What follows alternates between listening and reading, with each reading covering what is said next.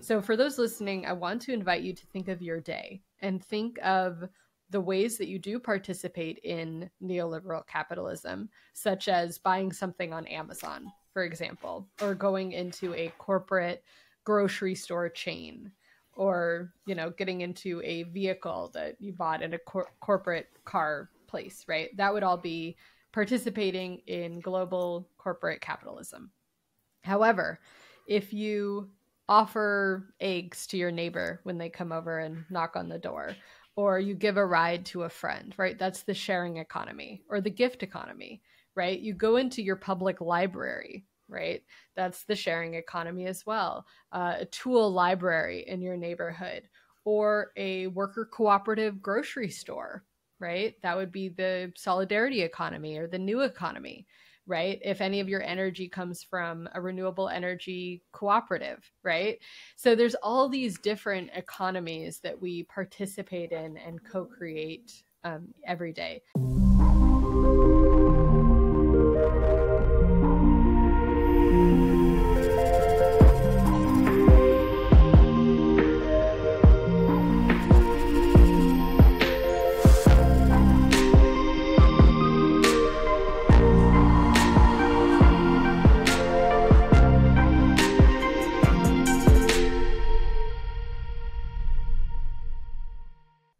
Della Duncan is my guest on this episode of Inside Ideas, brought to you by 1.5 Media, Innovators Magazine, and sponsored by the ALOHAS Regenerative Foundation. Della is a renegade economist who supports individuals as a right livelihood coach, helps transition businesses as a post capitalist consultant, and hosts the Upstream podcast, challenging mainstream economic thinking through documentaries and conversations, including the green transition, the problem with green capitalism, and the myth of freedom under capitalism. Della is also the creator and co teacher of the Cultivating Regenerative Livelihoods program and co teacher of the Economics Dimension course at Gaia Education and founded the Gaia Education with his wife, sadly passed away years ago uh, a work that reconnects facilitator, the course development manager of uh, Professor Dr. Fritjof Capra's Capra courses on the systems view of life. I'm also an alumni of the Capra courses and know Della from there and many other circles, and a founding member of the California Doughnut Economics Coalition, a senior fellow of the Social and Economic Equity at the London School of Economics, a gross national happiness master trainer, and a senior lecturer at the California Institute of Integral Studies. I know, Della, I could probably go on a lot longer because you've done a lot of amazing things. And actually, I, I, am so excited we could finally have this time to meet. Welcome to the podcast and thanks for coming and being here. Thank you so much for having me you are uh, have an amazing life and you've got much more uh, ahead of you. You've been in a lot of great circles, Fritjof Capra, Schumacher College, Gaia Education, um, Bhutan at the, the Center for Gross National Happiness. And, and, um, and you call yourself a renegade uh, economist. And I, I know um, I've heard you explain it many times before. Let's explain it first as we start off here for our listeners, if you don't mind. Yeah, so the frame renegade economist is something that I heard Kate Raworth described as. So, Kate Raworth, founder of Doughnut Economics, she was called a renegade economist. And so I really appreciated that frame and said, I aspire to be a renegade economist too. But what it means to me more generally is that when we go upstream from the challenges of our time political, economic, social, ecological I think there's some very real challenges relating to our economic system, particularly relating to assumptions underlying mainstream economic thinking, as well as the practices, operating values of our current dominant economic systems. So, to be a renegade economist is to challenge those assumptions, to critique them, and to seek and uplift systemic alternatives. You also have right to livelihood coach or mentor, facilitator. Uh, ex- explain that to us. Yeah, I got into Buddhism from a path of actual Mick mindfulness. I was experiencing some anxiety and difficulty, and I went to a therapist, and they said, Have you tried mindfulness? So, at first, mindfulness was a very self focused, kind of, uh, you know, calming nerves and anxiety way of re- relating to it. But once I started to go to mindfulness retreats, uh, I went to one with Joanna Macy, the root teacher of the work that reconnects, and I was kicked off the cushion into a path of engaged spirituality or spiritual activism. And that includes the whole Eightfold Noble Path, not just one right right mindfulness. And one of the other elements of the right the Eightfold Noble Path of Buddhism is right livelihood. So, in my understanding, it's really taking our spirituality or our values off the cushion and into our livelihood, into our lives, into what we what we do, what we offer, how we contribute to the world. So, I deeply love this frame, resonate with it of cultivating a path of right livelihood. And I've been on that journey for myself, helping to align my work with values uh, but also helping to empower others to feel more aligned in their work and values, and also to be able to contribute to the challenges of our time. I absolutely love what you do. I love where you've been. Uh, the groups and circles. Not only when I read your biography, and there's there's honestly for the listeners, there's much more we could talk about.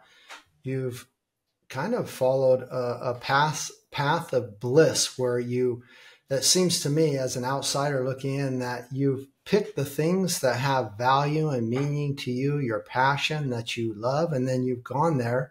You've studied with the masters, read the greats, and participated in those, and actually been surrounded by some pretty fabulous people, not only in the economic space, but in the ecological movements, in the space of systems, in Buddhism, in compassion and uh, gross national happiness and, and different thought models that are actually kind of kind of saying how can we have a better future a, a better world? It's funny because you mentioned joanna macy and i have you know a book of hers right here coming back to life from uh, uh, joanna macy right here uh, next to my desk. And and i think to be surrounded by thought leaders and, and these great authors and future thinkers, Satish Kumar from Schumacher College, and that is just amazing.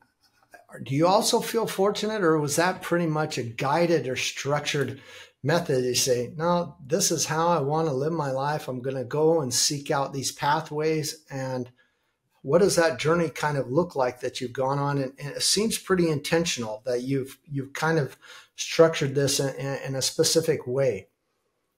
I absolutely feel very fortunate and and very grateful for having to be able to work with these these amazing teachers. And I think it does feel a little bit of uh, like callings and, and following callings and invitations, but it also feels a little bit magical too. For example, it was that second mindfulness retreat that I just signed up for, not knowing who the teacher was, and it just so happened it was Joanna Macy was the teacher.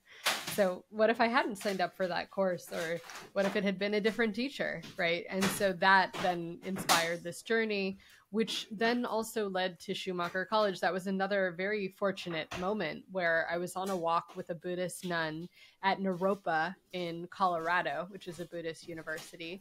And we were on this actually a Theory U dialogue walk where one person shares and the other person listens. And I was sharing kind of about thinking about Buddhism and about the economic challenges of our time. And I turned to the nun and I said, Hey, you know, what about Buddhist economics? What if that was a thing? Thinking that you know, not that I was the one to originate this idea, but having, never kind of put those ideas together in my mind. And fortunately, she turned to me and said, Have you heard of E.F. Schumacher? And so it was then a search of who is this E.F. Schumacher that led me to Schumacher College, right? So it, it's it's really uh, a path of being open to invitations and kind of callings and then being able to follow them to where they lead. Uh, but you're right, absolutely, absolutely, this desire to align work with values and also can have a life of service or contribution. and that comes from many different people in my life but i would really say like primarily my mom who was just so much someone dedicated to being of service to people throughout her whole career in life so i think that that value was really uh, developed in me as a child and I, I just had uh, Daniel Christian Wahl on the show, and, and he's had a similar thing. He also uh, uh, got a degree at Schumacher College and has done many things with Gaia Education. You've worked with him before and, and different things. Um, it's also very similar. So, and, and, I, and, you mentioned this before we started the podcast. You said, you know, you're also connected to pretty, pretty great things. I think once you find this wire, this purpose for life, and you start to look in these areas of deeper knowledge, it seems like the groups are people who are the thought leaders, who are the ones that we um, get great wisdoms from, that they are also ones that are really open and accepting. And then it just kind of gravitates towards that. Do you have some kind of idea or thought process that you went into and say, well, there's kind of an underlying uh, collectiveness or a, a consciousness that those people kind of gather and clump together and, and uh, see each other? Or have you ever thought about how that occurs or why that occurs? Well, I would say really this experience of this retreat with Joanna Macy was the first time I was introduced to spiritual ecology, right? This concept of the ecological self or just this these alternative worldviews that one could absolutely find in, in wisdom traditions or in indigenous teachings. But that was where I kind of experienced it. I remember doing a practice with Joanna that she led called the mirror walk, where you walk around guided by someone with your eyes closed really using all of your senses to experience where you're where you are. And then every once in a while your partner says to you open your eyes and look in the mirror and it, it evokes this sense of a ecological self you know this this gaian consciousness. And so it were it was things like that moments like that that just evoke this other perception of paradigms or worldviews that are more helpful for the crisis that we're in the ecological crisis the spiritual crisis and then from that yeah there's such a whole world of teachers and spiritual leaders and writers and poets that are just in line with this worldview that is more helpful for thriving people and planet. Schumacher College. I've got Small is Beautiful here as well. Speaking of Schumacher College, um, that's one of your favorite books, I think, isn't it? Or you I, actually, I've seen you promote it a couple times. Why is that? Why why do you uh, uh, talk about it? Well, what's so important about Schumacher College, small is beautiful, and this different way of thinking of economics? Yeah, well, I think that that moment with the Buddhist nun where I said, you know, what about a Buddhist economics? And she turned to me and said, Have you heard of E.F. Schumacher? She was referring to E.F. Schumacher's experience of being trained as a mainstream economist, a mainstream development economist, and then having a paradigm shift of, you know, a crisis of, of understanding in going to Burma, right? And seeing Uh, my understanding of it is he he he was sent there to kind of help with development, this very Western mainstream view of development and progress. And yet he had a spiritual awakening or a spiritual deepening where he said you know maybe our views of progress and development in the mainstream sense are not actually helpful. And maybe there is a more holistic view. And one of the things he noticed was that people were trying to be happy with less and less instead of more and more. And so my understanding is that's kind of really what inspired Small is Beautiful, Economics as if People Mattered. And in that book, he has just so many delightful reframes like appropriate technology, for example, that are just really helpful for uh, rethinking economics, demystifying mainstream mainstream economics and, and offering alternative views. And I think I resonate personally with that story as having uh, been someone who studied mainstream economics in undergraduate. And it was the, it was one class in economic anthropology where I learned huh, maybe the tragedy of the commons is actually an assumption underlying mainstream economic thinking, and maybe it's not actually fact that we as humans cannot collectively manage a resource together. And it was actually there that I first saw the film Ancient Futures by Helena Norberg Hodge about Ladakh, another powerful, you know, paradigm shifting experience, again, around development, what, what progress and development is.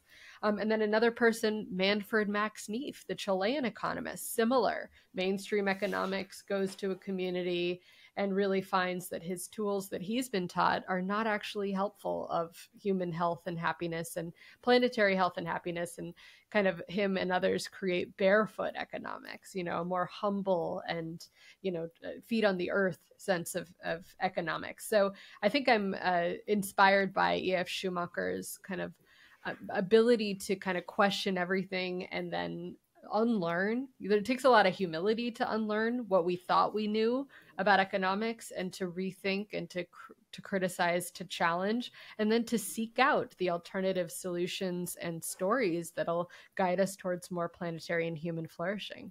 It's so inspiring. To, I mean, I'm almost in, in a trance just listening to you speak about economics, and it's so exciting. And I sense your your passion but uh, but honestly, Della, when I ask people what economic models they're living in their daily life, one most people couldn't even tell me whether it's neoclassical and micro, macro, if it's capitalism, if it's extractive economics. They don't know what model that they're living in, and it's okay, I guess, if they don't know what model they're living. But what it means is that they're supporting by by not knowing doesn't mean that you're not supporting a bad model or a bad system by being in that. More importantly is i like to talk about instead of complaining about those bad economic models that we see out there let alone the the way uh, economics is taught or, or around the world is is not like what you're describing to me here at all. It's very uh, white older men uh, wearing suit and ties and a different type of, of economics that's taught around the world. Um, but there are so many alternatives just in what you've told and describing so far. You Buddhist economics, feminist economics, and, and shared economics, you know, and on and on. You've mentioned several uh, fabulous ones already. So my question is, how do we kind of tell people that there's actually so many other alternatives, local economics, local futures. You spoke about Helena Norberg. Can you kind of touch upon some of those things and where it's going and, and why it's so exciting to have these in our world and what it means for us to kind of set a different mo- different models for a better future? Yes. So, one of the ways that I like to think about economies comes from two feminist economists who wrote under the same pen name, Gibson Graham. They wrote under J.K. Gibson. They just wrote Gibson Graham as their um, pen name. And what they did was they said, actually, we perform economies and we perform diverse economies. And when we speak about capitalism as this all prevalent, pervasive economy, we actually give it more power than we need to. And they invite us to see all the alternative economies that we also participate in, in and co create every day. So, for those listening, I want to invite you to think of your day and think of the ways that you do participate in neoliberal capitalism, such as buying something on Amazon, for example, or going into a corporate grocery store chain or you know getting into a vehicle that you bought in a cor- corporate car place right? That would all be participating in global corporate capitalism.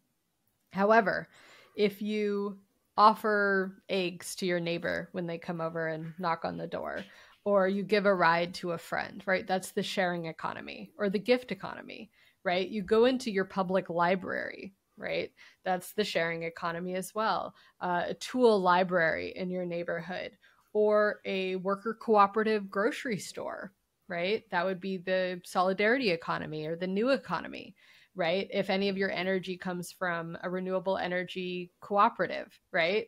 So there's all these different economies that we participate in and co create um, every day, the caring economy, if you care for an elder or a child in your life. So that was helpful for me to notice there's actually many different economies and to see that when we speak about capitalism as all pervasive, we give it more power than we need to. And then the invitation is how do we uplift the view, the understanding of these alternative economies, and also make them more accessible for for all of us to participate in them to rise them out of the global sea of capitalism and connect them. And I, I, I think that one thing that's helpful in determining those is what is capitalism what are the operating principles and then what is not capitalism? What are these alternative structures? And to just make them more visible and to be aware of how we're participating in them so that the economy is not something abstract or outside of us, but it's actually something that we participate in and co create every day. Do you think it's uh, important to understand that no matter what economic model we're participating in, to understand how that functions and what, what by supporting that, by where we shop, where we live, by what we buy, by how we live our lives, uh, that we're actually either supporting good economic models or keeping the old bad ones, neoliberalism, neo-capitalism, alive. Um, and what are your thoughts or practices there? I know you have some um, uplifting messages. You have some ways of practicing and using some other tips. What what would you suggest for us to kind of get into a, a, an awareness uh, of of what models we're living and maybe if you could tell us why that would be important, what what shifts or changes do we see when we have more participatory knowledge of how we live and what we do in our world?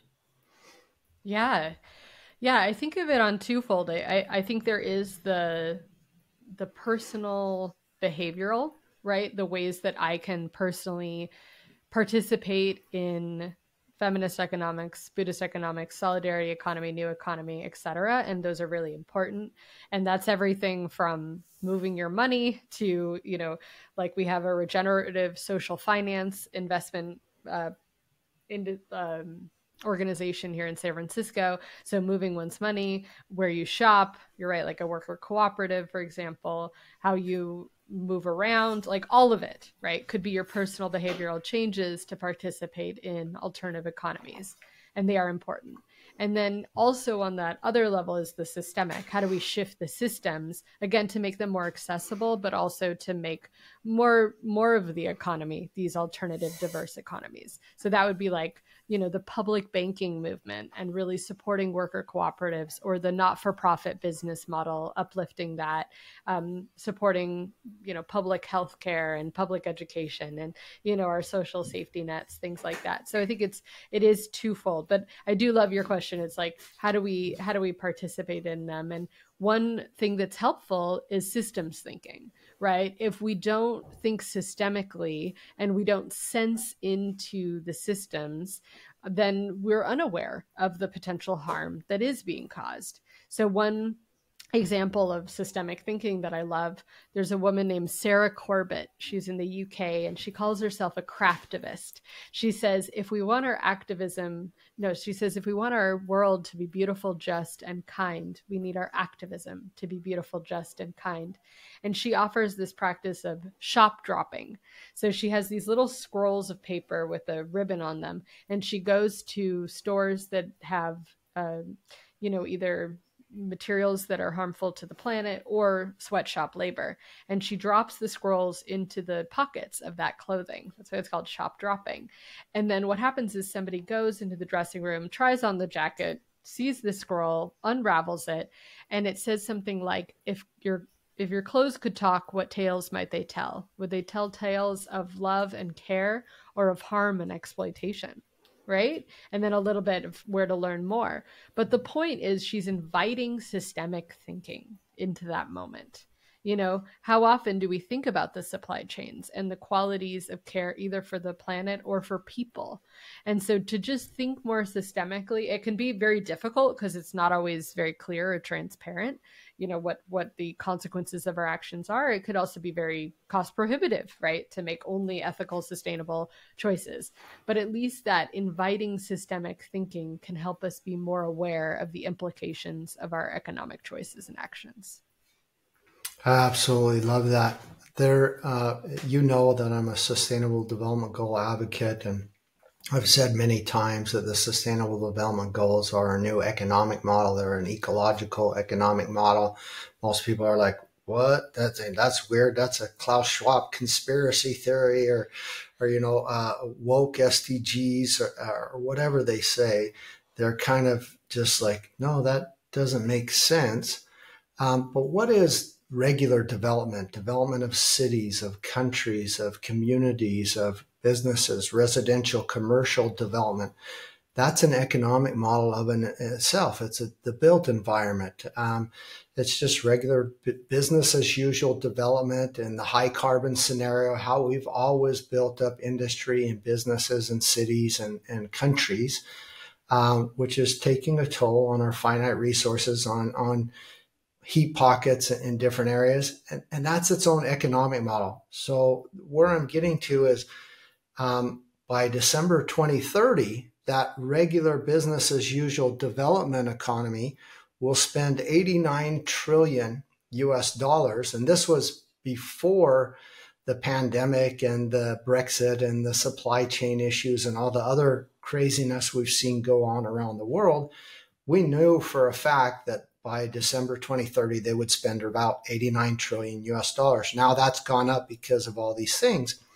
Whereas we also know that sustainable development, doing it in a low carbon scenario in a much different way, uh, with better materials, better sustainable practices. It's not perfect, but in, but in a different way. That that would be about today's number is about 96 trillion U.S. dollars, and anything uh, you know more about economics than than I do. Uh, I hope. Um, but anything over about 1.5 trillion dollars is its own economic model, and, and especially you know in, in, the Netherlands they have the tulip economy, so it's all based on tulip and, and growth, and, and so to just give that understanding around economics that there's many different types of economic systems and, and industries and sectors um, that, that that's interesting, but it leads right into what you were saying. And that's why I bring it up. The SDGs and the SDG uh, uh, economic model has basically paved the way for the ESG, environmental social governance. And it is a beautiful way that now, through CSRD, human rights due diligence directive, the uh, digital product passport, and these things that are coming out through the European Union, we're taking into account human rights violations, scope one, two, and three emissions now with a digital product passport of all products being sold in the in the European Union, all products going out of the European Union. Um, they all have that traceability. What's the upstream, the downstream? Where are they made? Are they made with a fair wage? Are there human rights violations? And when you you talk about her dropping this little note into the pockets. Um, that's fabulous. And it's a local way of, of kind of having this activism and doing that. But now we see one of the, uh, the, the biggest organizations, the European Union, the Commission, the parliamentary process in the European Union, is actually one of the biggest organizations kind of moving us forward on the on the on the right side of how do we get into a new economic models and processes. And i, I kind of wanted to you know say we saw the beyond growth conference that happened in in the eu matter of fact you were here teaching a course in the european union uh, that you can tell about. But what do you see with that kind of leading up and where we're going in the future for better traceability fairer wages, better economic models, and kind of some of these things that are really holding us accountable and, and moving us forward in the right direction. Can you tell us a little bit more what you see and what your thought processes are there? Yeah. I mean, I'm really tracing what you're saying through the lens of Donella Meadows, right? Systems theorist and her fabulous essay, Leverage Points Places to Intervene in a System, which she calls like acupuncture points to change a system. And very, she has 12 of them, but very high at the top is changing the goal of the system and the sustainable development goals and doughnut economics, gross national happiness, uh, beyond growth, all of these are ways to change the goal, the goal of development or progress to something more holistic, more like thriving people on the planet or the well being or happiness or the economy for the common good movement, right? And so from that new goal, we have to say, what do we measure? Right. As my mentor, Dr. Ha Vinh Tho from Gross National Happiness Center in Bhutan would tell me, he said, we are attentive to what we measure we are attentive to what we measure. So by having these more holistic measurement tools, we are guiding our attention and our efforts towards something different. So that's really how I'm hearing the what the the benefits and the things that you're talking about. Um, and I would say the Beyond Growth conference and also uh, what I was doing uh, during that time, I was working with Dr. Jennifer Hinton, who worked for the Post Growth Institute and now is completing a book on the not for profit economy. And she really says, hey, part of the challenge of growth and part of going beyond growth is addressing the profit motive and the profit mechanism.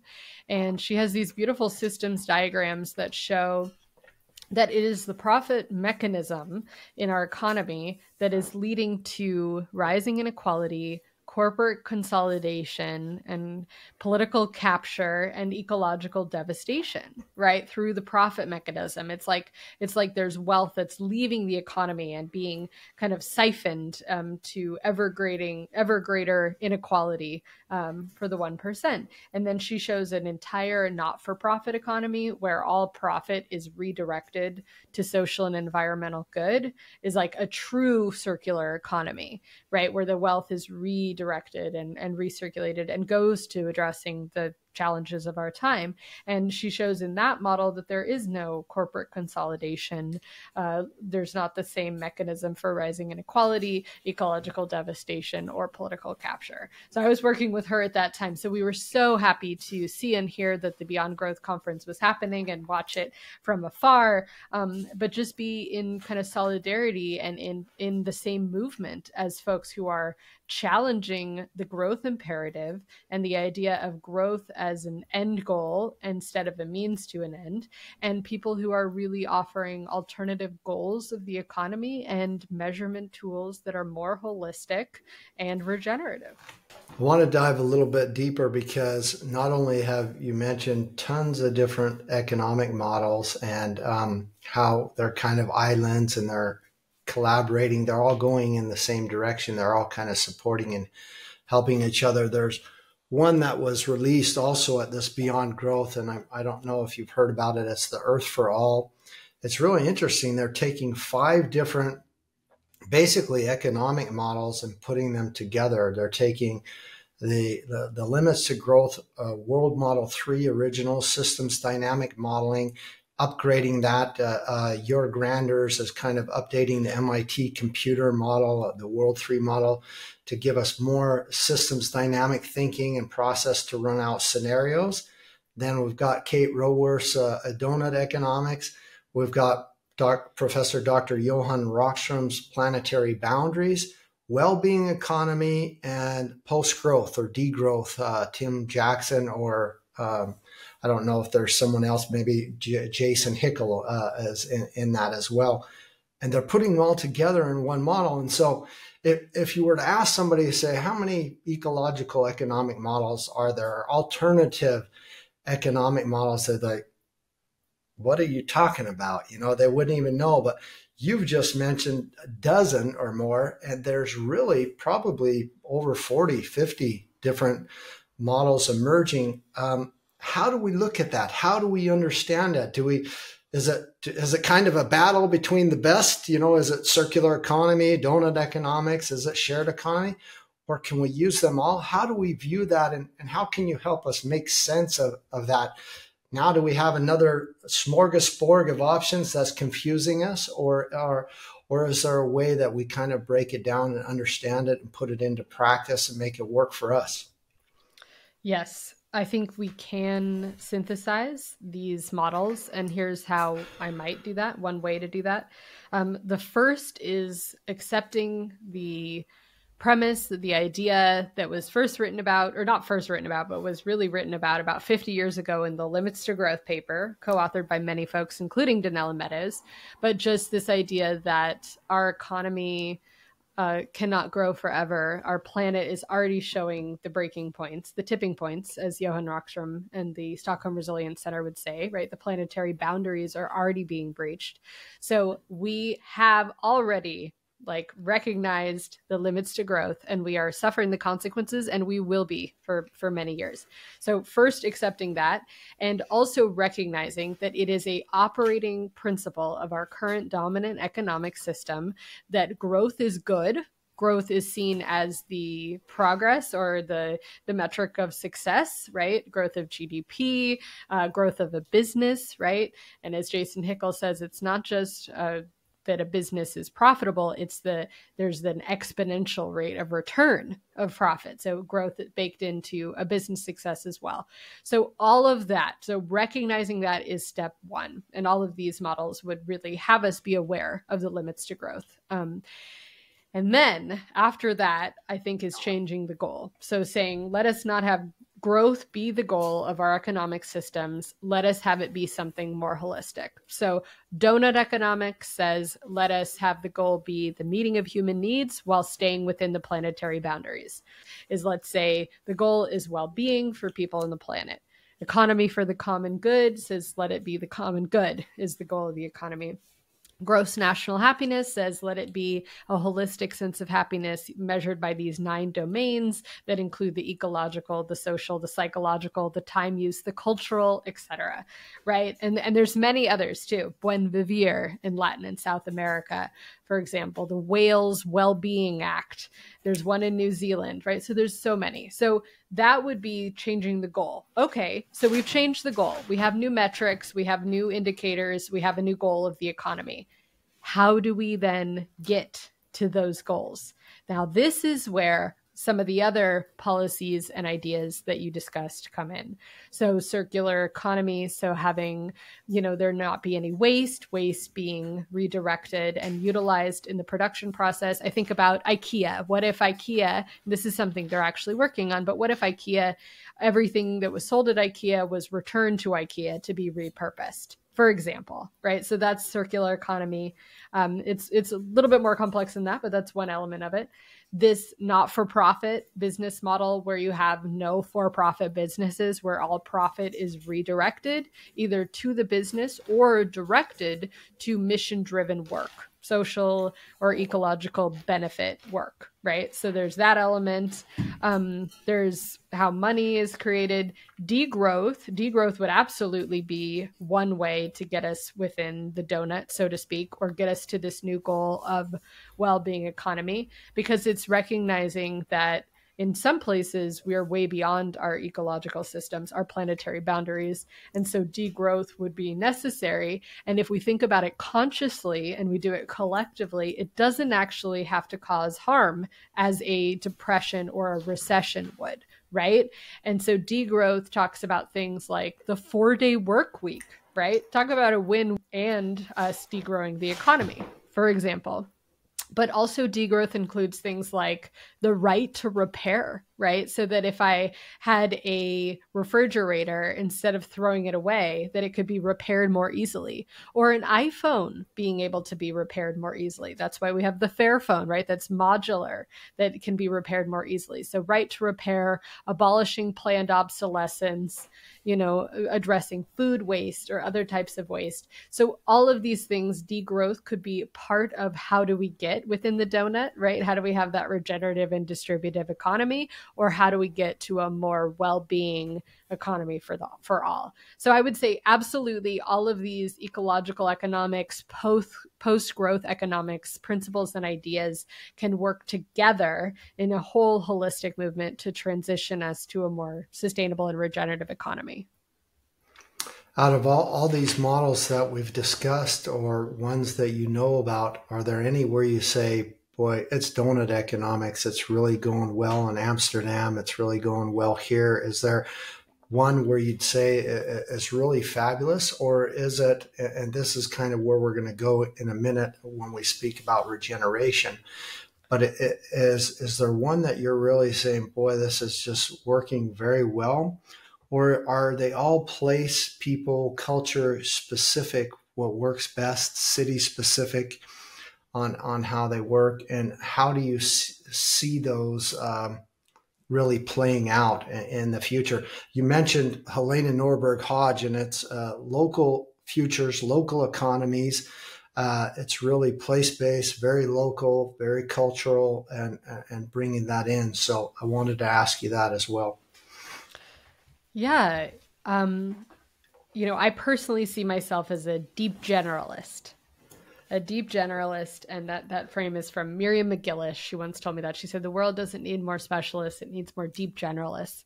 And I think you are one too, Marc. I, I can imagine. I we know we know a little bit about a lot of different things, and we're able to connect them, right? But we may not be a specialist in one. So I would say that uh, you know, due to having a podcast like you and being able to be a teacher and someone who is also a researcher, I, I enjoy getting to know about a lot of them. So I wouldn't say one is the answer and i and i don't think that's how systems change happen either. There's so many operating principles of our current dominant economic system that need to be shifted that i appreciate the plethora of ideas and tools and strategies to address all those different things. So i, I would say it's a very pluralistic movement. Um, however in the realm of the changing the goal i would say that i have seen a little bit of the place based uh, thing happening where gross national happiness is so of the place of Bhutan, right? It really has a cultural element to it and also the Buddhist philosophy and practice of it. And then you have like the Bristol Happiness Project, and again, Buen Vivir, the economy for the common good with Christian Felber and Austria. You know, like, so I, I do feel the place based and the cultural specific elements of these movements, and I can appreciate the diversity and the unity of them. At the same time, I would say that I personally have gotten pretty involved with uh, doughnut economics because doughnut economics seems to be something that a lot of folks can resonate with. So, Kate Raworth and her team have both utilized the sustainable development goals for the inner circle of the donut, but also, as you mentioned, um, Johan Rockström and the Stockholm Resilience Center, the planetary boundaries. So, utilizing those pretty global standards or global, like appreciated in a global sense ways of measuring. I think that's been really helpful for the movement. Um, and also that it doesn't have the kind of spiritual aspect of let's say gross national happiness right? Part of gross national happiness one of the questions on the survey is do you believe that trees are the home of spirits and deities right? I don't think you could ask that everywhere right? It would have a different different understanding. So i think that doughnut economics is is really well positioned to be something it's also visual right? Kate speaks to the visual nature of the donut being one of its benefits like that you can see the donut in your mind or on a piece of paper and kind of get ah the goal is to get within the donut the safe and just space for humanity right? So i have found that that feels like a very helpful model to get on board with globally and also that it connects really well with things like the well-being economy circular economy post growth like that it, really is a natural ally and advocate for those models. Local futures helena norberg hodge again that film ancient futures phenomenal economics of happiness phenomenal and i've gotten to uh, teach alongside and work with helena over the years and just really appreciate what what she does is really for me she really um, demystifies the global part of it, right? The the interconnected globally and the impact of development and capitalism on the global south. And so localizing our economies to me is about bioregionalism and becoming people of place, you know, placemaking. So it's like it is one of the answers, but it's like a different part of the answer in a way. I think also local economies ought to be more local and independent businesses that are perhaps worker cooperative or not for profit businesses, right? Um, but also in more uh, reciprocity and connection with place. So, how are we going to measure the donut? How are we going to know about the flourishing of the planet in our place based uh, places if we're not in deep relationship with it? So, I do think lo- local futures and local- localizing our economies is another addition to this beautiful movement. How does regenerative or regeneration um, economics fit into this whole scheme of where we're going? And just in general, we, we talk a lot about re- regenerative or regeneration as kind of a new and trendy thing. And uh, you've probably heard me on other, uh, other podcasts or other circles. You know, it's really not. You've heard it from Fritjof Capra as well that it's actually very old. It's the way the world's worked. It's always been that way. It's a, our regenerative ancestry, really, um, and those type of things. But now we're hearing, you know, regenerative economics, regenerative agriculture, regenerative well-being, um, all all sorts of things around that. Um, how do you look at that, and what what would you say going forward on on what we see there, and how we can create those conditions conducive to life, regenerating itself, to flourish, and to do those things that you're talking about? What what are your thoughts or ideas on regeneration? Hmm. Yeah, so I think to speak about regeneration, we also need to think about sustainable, right? And sustainability. And I know that some folks, and I, I too in the past have thought, oh, sustainable, we don't want that because what are we sustaining, right? And it almost feels like it's sustaining of our current dominant system. However, Fritjof Capra the other day, he said in a group that I was in, he said, you know, when we talk about sustainability, it's not about sustaining the current system, it's about sustaining life and I was like, oh, it makes total sense. So maybe we don't need to throw away sustaining or sustainability out completely. But what I do appreciate about regenerative is that it is like life affirming, life giving, right? And helping, like, I think about helping nature thrive and flourish and continue to um, be a part of nature, right? Humans as a part of nature. And I think about this idea of our ecological footprint, right? And that idea of our how much impact we as humans have on the planet. Regenerative to me is thinking about our ecological handprint. Like how are we also, you know, supporting ecosystems like helping ecosystems heal and be repaired? How are we planting new things you know helping the coral helping forests right?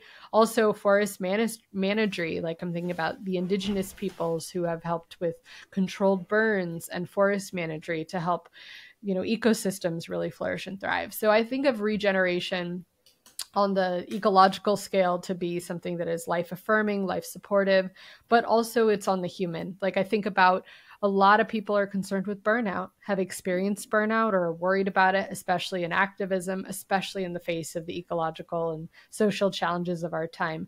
So, what does it mean to be regenerative personally? It means to really care for the soil of our own livelihood gardens, to do self care in a way that feels restorative and literally regenerative so that we can continue to serve life and be a part of life so, and then also regenerative livelihoods. That's a frame that that I use a lot. But I I love this idea of like livelihood being regenerative in the way that it is supportive of regenerative economics and our own regeneration as as individuals. So, yeah, I think I resonate with the term, but I do see you're right that it is used often. And I think this other question is like, yeah, what is the overall umbrella or frame? Is everything that we're talking about post-growth economics? Is it regenerative economics? Uh, is it eco socialism? That's another another frame. The new economy, the next system. And again, personally, as a deep generalist, I think I, I code switch depending on who an audience is. If somebody could really hear ecological economics, like they appreciate that lineage, then I might use that. Somebody is more like Buddhist economics frame, I might use that.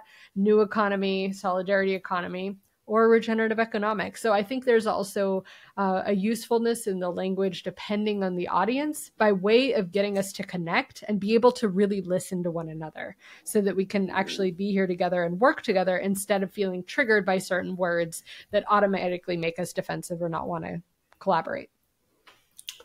I love that. And, and um, I'm, I'm right in alignment with you. And, and that really before I get to the, the hardest question, I want to kind of tie it into uh, the, the core fundamentals of uh, the meaning of economics and and mm-hmm. kind of you've said this before and I kind of want you to use your words and where you got it from and kind of learn it's really about how do we get to know our home and how that ties back to economics. Yeah. So if we go to the etymology, economics, oikos nomos from Greek, management of the home. And at first it was management of a domestic home, a familial home, right? The the finances of a home. And then it was brought in to think about the nation state home, the country home. And folks like Kate Raworth say, due to the nature of the interconnectedness of our global system and us, you know, pushing over the, our planetary boundaries, 21st century economics must be management of our planetary home, right? So, one question is who is responsible for planetary home managing? Right? And it is certainly not a group of older white men, right? And just them and everyone else just waits for their instructions or follows orders, right? We are all collectively a part of managing our home, including the biotic community or the more than human world, right? Gaia or our planetary systems, our ecosystems, keystone species, for example, the bees, the the fish, the starfish, the corals, like they're all a part of collectively managing our home. So we all are. So, you know, it's like that Thomas Berry quote, the universe is a communion of subjects, not a collection of objects, that we are co-participating in the unfolding of our planet and the caretaking of our planet.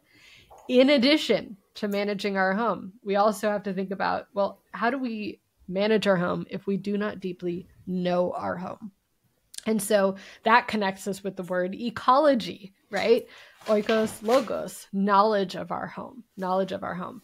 So Satish Kumar, founder of Schumacher College, who you mentioned earlier, he once walked into the London School of Economics and he said, How can you call yourself a school of economics without a department of ecology?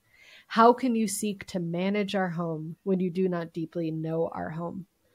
So uh, that's why this connection with our bioregions, our watersheds, this is why, you know, permaculture or other practices of deep listening, of being in relation with land, of noticing changes of migratory patterns or of populations of bees or of seasons, right? That's why that's so important. Because when we deeply know our home and we consent in, into the condition and the health of our home, then we can participate more helpfully and healthily in our collective co-managing. That is so beautifully framed. There is something interesting because there's also the mycorrhizal economy, the Wood Wide Web economy, the the uh, uh, the economy of of not only fungal economy. Um, there's so many different things that tie to the natural world that create economies in and of itself. A, a, a, agrarian society is an economy all based around farming and agriculture um, and the basic resources uh, of us. That kind of ties to a much deeper thing. And another person that I'm sure you've dealt with and, and heard about over the years, not only through Fritjof, but others, is Lynn Margulis. Turned the scientific community on its head through symbiogenesis, symbiosis, a symbiotic earth, and basically going against what we've been talking about a, a, lot here that there is really no such thing as neoliberalism or neo Darwinism and this uh, survival of the fittest, natural selection, only the strong survive, severe competition. That actually, the way that the world works in this, this overarching model is in collaboration and cooperation and symbiosis is how the world works, not in, in this uh, misunderstanding of, of natural selection. And that that is actually an ecological phenomenon, symbiosis as one of the, the, the biggest sources of evolutionary human innovation that we've ever seen. It's actually beyond an exponential. It's a super exponential. And goes in uh, what they call, uh, you know, quantum tunneling or, or superabundance. Uh, if we live in symbiosis, if we understand and apply that in our organizations, in our lives, in our economic models, the way we interact with the natural world, our planet, our earth, the Gaian systems, that we actually have abundant life. We have the, the we stay within the planetary boundaries. We operate in those things, and so I, I really wanted to see how, how often do you deal with with Lynn Margulis's work with symbiosis, this terminology from Glenn Albrecht that we need new words for a new world and we need to get out of the Anthropocene to go to the Symbiocene. What what are your interactions uh, in, in, your daily life and your work that you do and teach with uh, Lynn and, and symbiosis?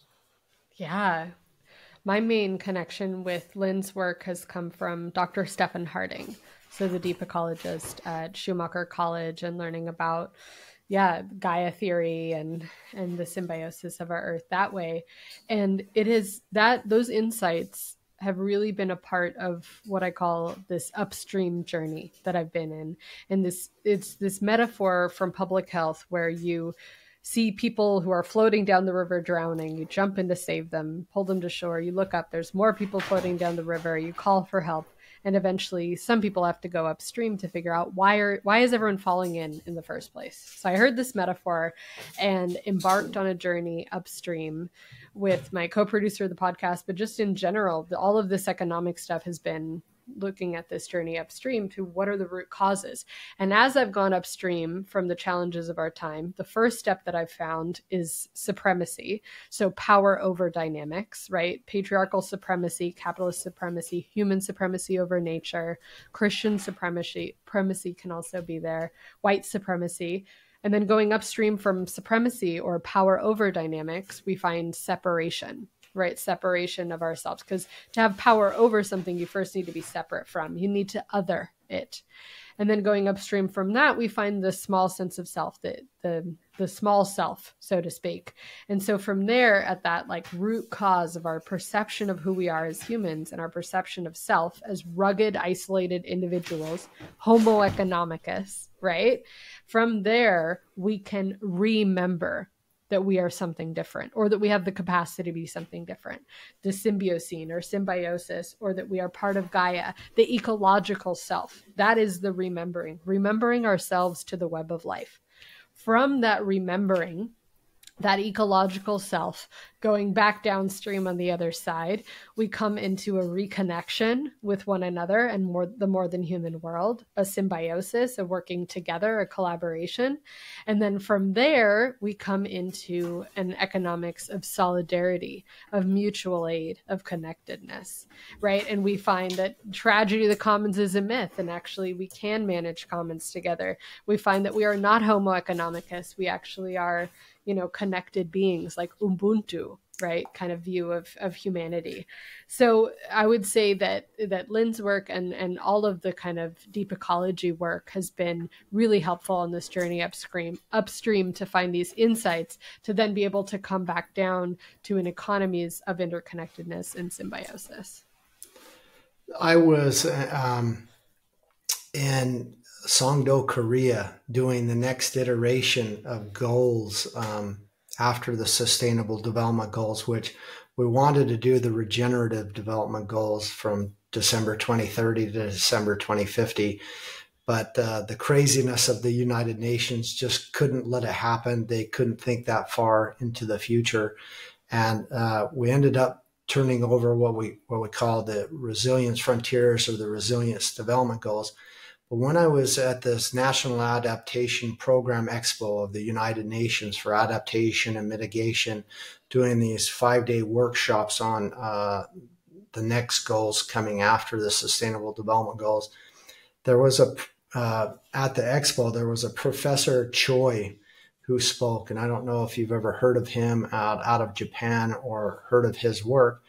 Um, and I, am probably I need to put on my glasses because I think I'm uh, Professor Choi J.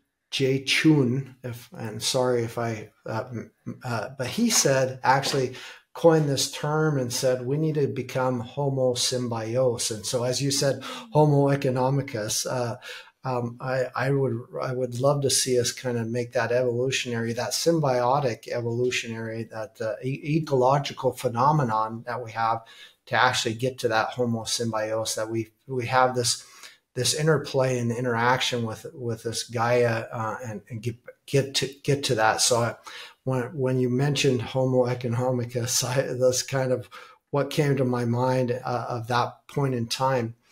Um, all of this that we've discussed has been absolutely fabulous, but I want to ask you the hardest question now uh, of the podcast, and it's one that I have asked um, quite a few people and also always on video.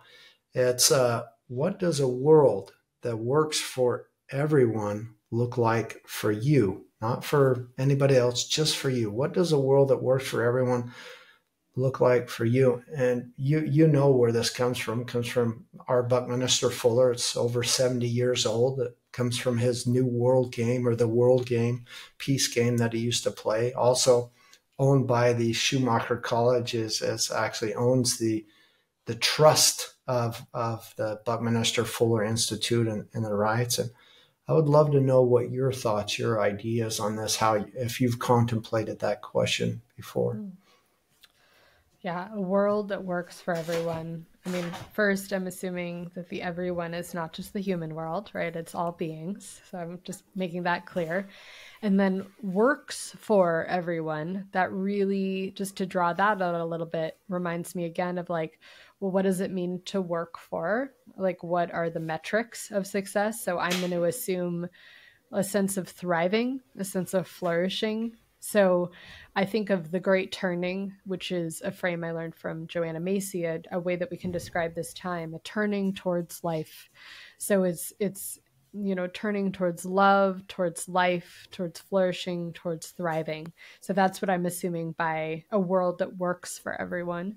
And then I would really lean on Buddhist philosophy and practice for this answer, just that that beautiful understanding that physical pain, change, and death are inevitable. They're all parts of life for human and more than humans. They're going to happen to all of us. And the more that we can, you know, accept that old age, sickness, and death and change are an inevitable part of life, um, the the the easier it'll be for us when we do experience that for ourselves or for others. And yet, what is changeable or what is not necessarily inevitable is suffering. So that first part is pain, old age, sickness, death, change. That's painful. But suffering comes from that second arrow, as Buddhism would say, that way that we either think about the the pain or the suffering or that we exacerbate the suffering on top of the inevitable and so a world that works for everyone is where there isn't that suffering there isn't that additional you know the the points of structures that are exclusionary right? Or structures that create harm or pressure, right? Structures or systems that are more kind or compassionate, that are regenerative, right? That are not extractive or exploitive, right? So I think about it on a world that works for everyone on all levels. It's interpersonal, it's the ways that we call each other in, that we listen, that we're kind, that we're nonviolent in our communication, that we're compassionate, right? But it's also in widening circles of reciprocity. So it's also in our neighborhoods, it's in our you know political systems, economic systems, all the way to our planetary system. So that on all levels we're turning towards life and towards what is regenerative and just and equitable and good and loving and kind and compassionate. And we're turning away from unnecessary suffering coming from exploitation and harm. Such a beautiful world that works for everyone. Thank you for sharing that.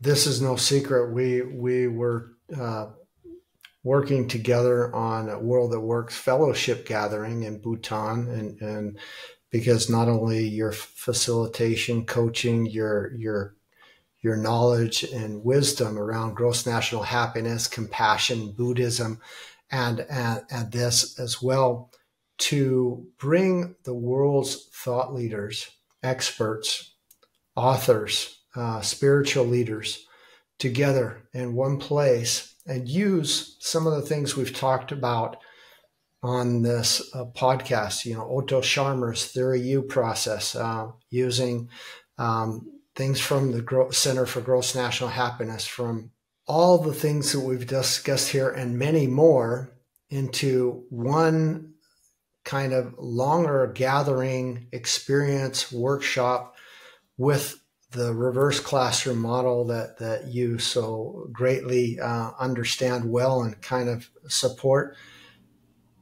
Do you see any models or any groups or organizations coming together in our world today? Operating system, uh, model or way to bring humanity together to solve or answer that question that you just answered and find the tools to get us on the right side of history, to get us into the future that's out of capitalism, out of some of the destruction, human suffering, global grand challenges that we see, that separation, that the, all the things that we really don't want to address or even address, kind of talk about what are the new systems that make those obsolete. And if if not, what what do you feel or what do you think about how we could make something like that happen? Is that possible in our world? Is it realistic to even ask this question in the world that we live in? Well, I absolutely think that these gatherings and communities do exist and are happening. And I know that if I said, Marc, tell us your last six months, where you've been, who you've been with, what conferences you've been to, what gatherings, you would tell us so many inspiring people and places and communities who are doing this work. So I absolutely believe they are happening. Um, again, some that I really appreciate, you know, the, the doughnut economics movement around the world, which does sometimes take physical form in place, but it's also a global virtual movement. The Doughnut Economics Action Lab is a great place for us to gather around the donut and also to make it place based from those interactions and those connections the beyond growth, post growth movement is also really inspiring around the world. Um, the iterations on a global Green New Deal I found really interesting as well. Uh, so, really saying, let us not have the green transition be capitalist or growth oriented, right? Just changing our one type of energy, oil based energy, to mineral based energy, right? But actually addressing growth in and also decolonization and um, even reparations in the process. So that that's a movement that I feel inspired by. Um, as well as many spiritual communities around the world who are doing this great work. So I would say there's so many. In the United States, we have the New mm. Economy Coalition, which is a whole group of folks in that space. The New Economy Organizers Network in the UK is another one. You know, the Via Campesina movement, I would also say is is really inspiring. So there's so many around the world that I'm inspired by, and I do see the connections. And you know, what would be needed to uplift or shift this? Again, it's there's this interesting magic to what touches each of us. What we could say what radicalizes each of us or what inspires each of us but like what really creates that that shift where we're like hey maybe making more and more money and materialism and consumption isn't actually what's bringing me health and happiness. Or, hey, maybe our economy being only based on growth of GDP is not actually helpful for human health and the planet. Whatever that is, that moment that sparks that interest or that curiosity or that break in reality to cause us to do some research, which, you know, light research would get us to all the things that we've mentioned, these books, these, these ideas. Um, so I, I think that break is already happening, and and those moments are very unique for each of us, right? Different things like different movies or books or conversations touch us differently. But the most uh, helpful thing I've heard in this frame, again, J- Dr. Jennifer Hinton, she showed this graph of change happening in different areas where she showed that there was like um, going along going along and then all of a sudden like an exponential change in behavior or action or adoption right like think about um, you know compost right like not places not really having composting to all of a sudden san francisco we have to compost or we get fined right or gay marriage, for example, abolishing slavery in the United States, um, fair trade, right? Um, even the world of land acknowledgments and people introducing themselves with their pronouns. Like these things are like, woo.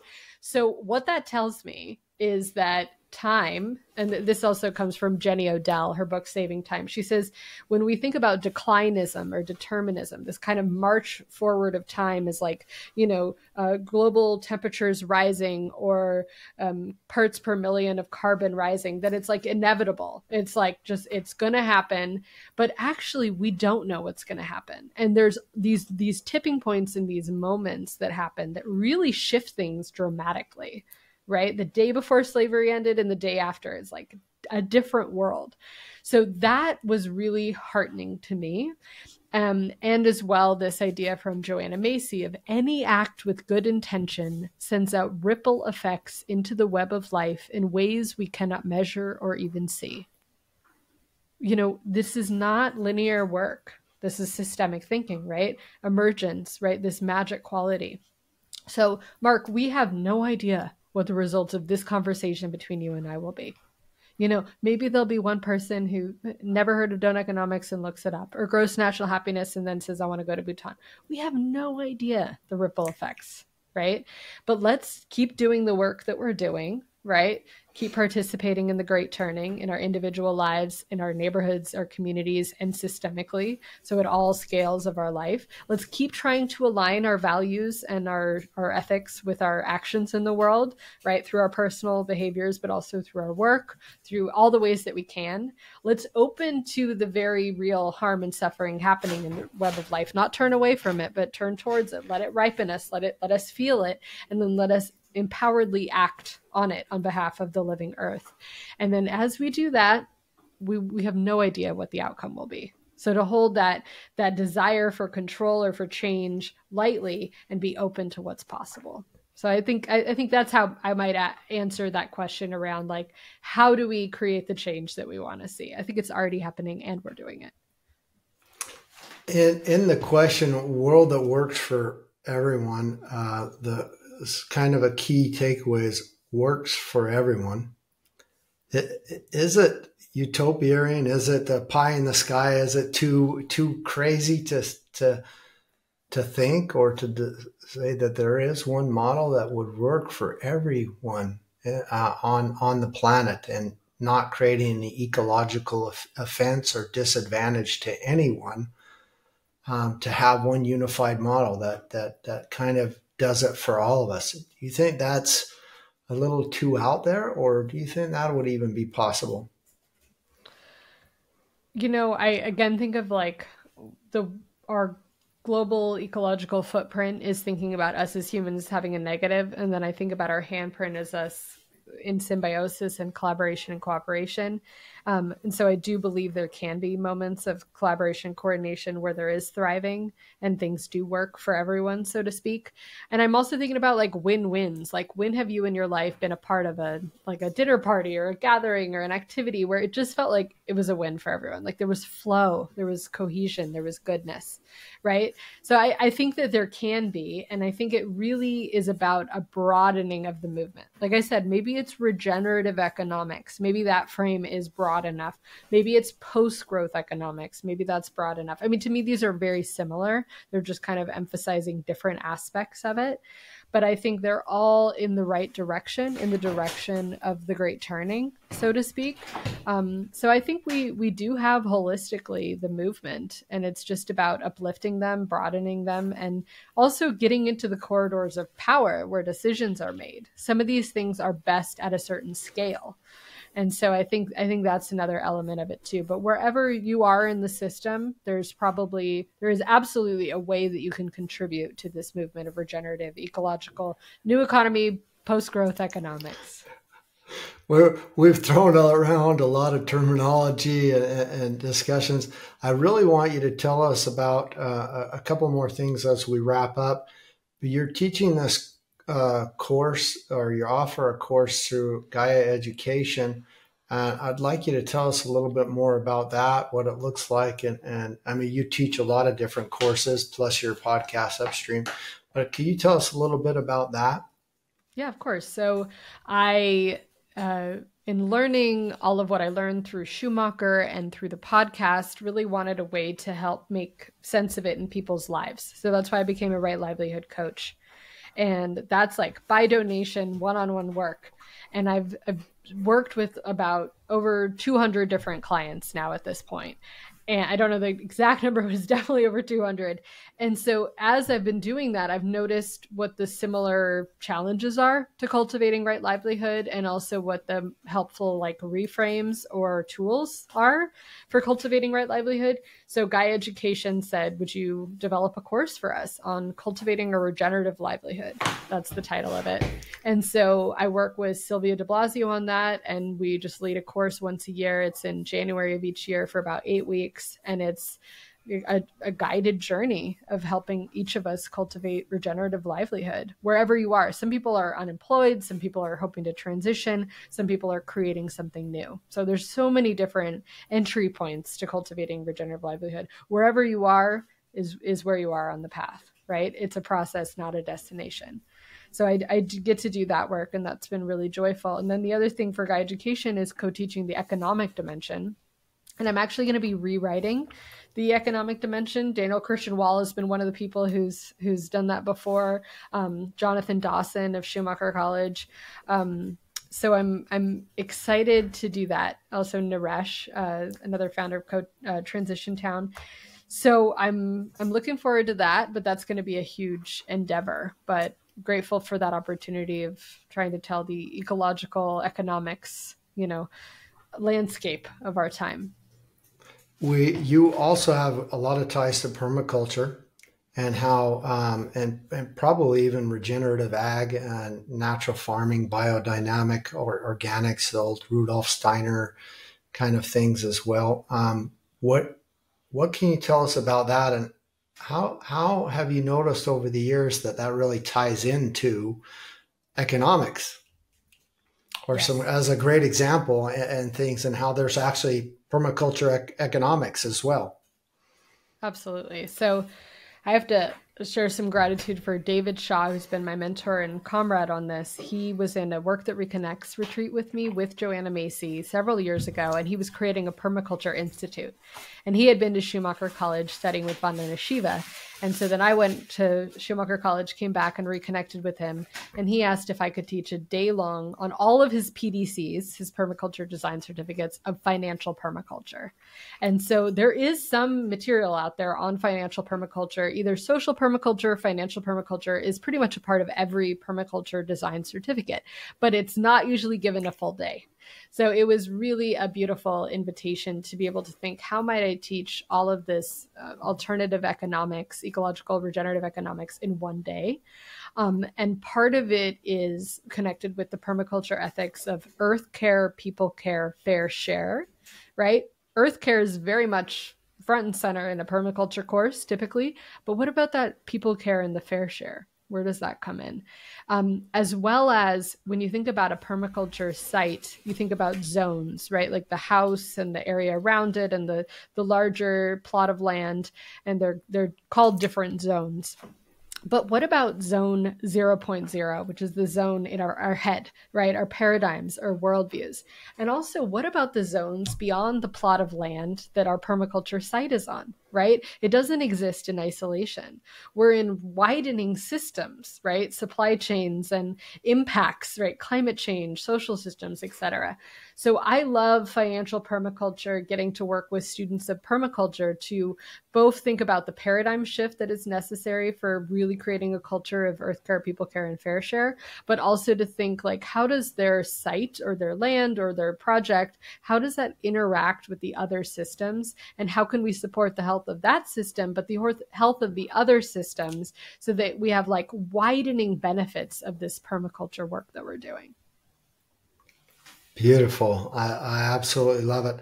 I, I tie um, not only agriculture, organics, regenerative ag, permaculture, um, all back into economics, into one of our oldest economic systems our world's ever seen, the longest running, the most successful, also the most damaging on our planet. Agrarian society is probably one of the most damaging uh, economic systems for our planet and human health. Um, but uh, I, love the way you you tie that in, you bring it in, in into perspective.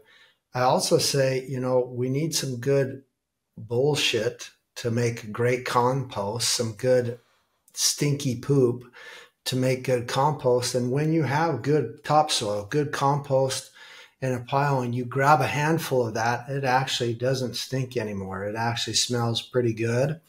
Uh, and there's a lot of things in that whole process of, of good gardening, of good permaculture, of good regenerative ag, where we see the things that we've touched on this uh, podcast throughout the discussion, we've mentioned exponential, super exponential abundance, and many other things. is that why, why do compost piles heat up? Why do they get so hot? A lot of people say, "Oh, it's the off gassing. It's it's this. It's that." Well, it's it's actually the cells dividing. Those cells dividing and dividing the microorganisms feeding that raise that temperature, and there are organic and natural materials in there. But there's also waste. There's also that and I tease, we need a little bit of the bullshit of the bad systems, the bad players in our world to feed that natural, healthy compost and that balance of life to, to bring about good things. And, and so I love how you tie that into the real world living systems and into um, our, our daily lives because we deal with food and, and growing food is the, the best way to, it's like printing your own money. So what a better economic system than kind of getting into that. Uh, as we close up, I just want to um, see if you can maybe tickle and help us with a couple more understandings. Can you, can you tell us a little bit about a, a possible book collaboration work that you're kind of working on, or is that still top secret? I had the real joy of getting to work with the London School of Economics as a senior fellow at the um, the Atlantic Fellowship for Economic Inequality, and there they really um, helped us understand the root causes of inequality and encouraged us to do a place-based project. So the book that I'm finishing right now is all about what are the root causes of economic inequality in the San Francisco Bay Area, Bay Area, which is where I'm from, where I'm currently living, but also the heart of Silicon Valley. So there's a lot can come from understanding what's happening here for the rest of the world. Um, and then the other side of the book is around the systemic alternatives, the solutions. A lot of what we talked about today, but really framing them as like invitations. And so I'm just trying to work on uh, different scales or levels. So trying to do work in San Francisco, then trying to do work in California, California Doughnut Economics Coalition, the, the United States, and then globally. And so I really try to find how can I contribute at each scale of the system to shift the system to being something more regenerative and just.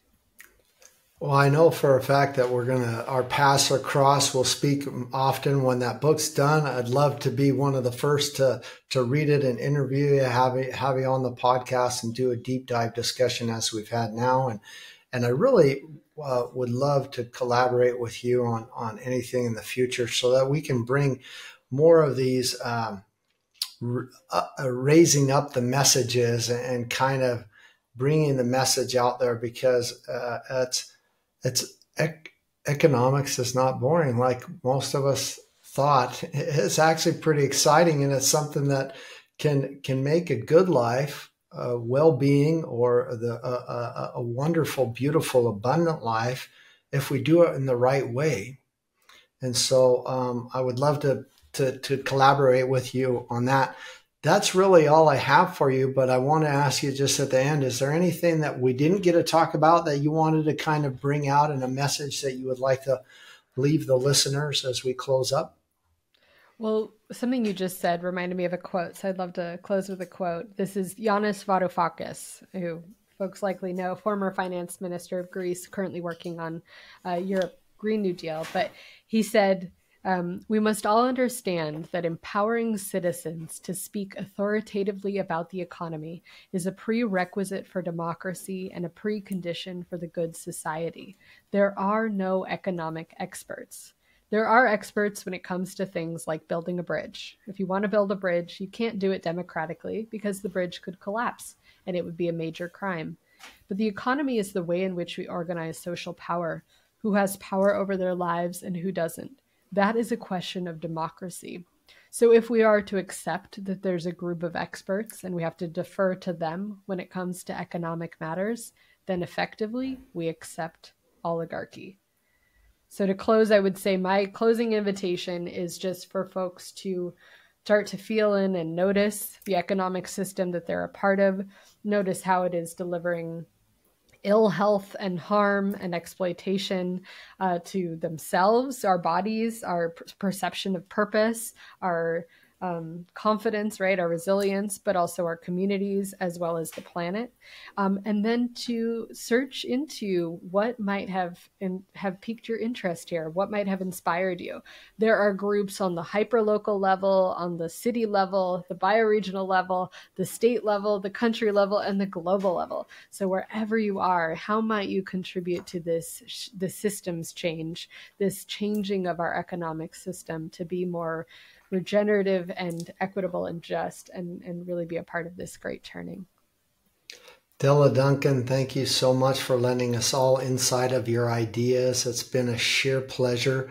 Get to know our home. It's our job uh, as uh, understanding ecology and economics. It's to get to know our home. And when we understand it, boy, the, the beauty and wonderful things we can do. Look forward to seeing you again. Thank you so much. Thank you so much.